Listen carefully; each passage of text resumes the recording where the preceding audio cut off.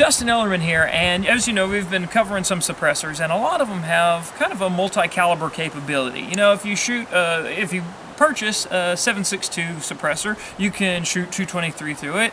If you get a 45 caliber can, you can put 9 millimeter through it, and, and things such as that. However, the new Griffin Armament Optimus takes that to uh, one of the uh, uh, hostage heads, uh, just for fun. X Products 50 round drum because, you know, America. Here we go.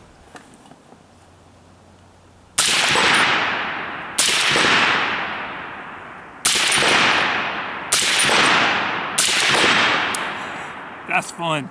This thing has that LaRue MBT trigger on it, and uh, it, it, feels good to shoot.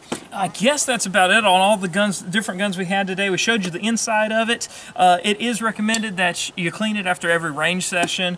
But here's the neat thing. Now, 22 caliber is ridiculously, uh, well, it's ridiculously dirty, and so you have to clean that all the time. Uh, same thing with pistol calibers, not as dirty, but you do want to be able to clean those suppressors. And so that's the, where the Griffin Arm Optimus really shines. Before now, you either have a pistol can that you can take apart and clean and, and that handles your pistol calibers, or you have a rifle can.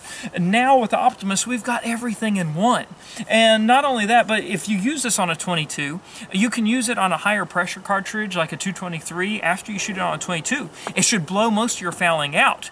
Then, it, unlike an aluminum baffles where you can't uh, put them in something like an ultrasonic cleaner for some more aggressive cleaning, these are uh, tin-coated uh, stainless steel baffles. You could throw them in your ultrasonic cleaner and now it makes life easier all across the board. So I, this this suppressor is honestly impressed me very much so.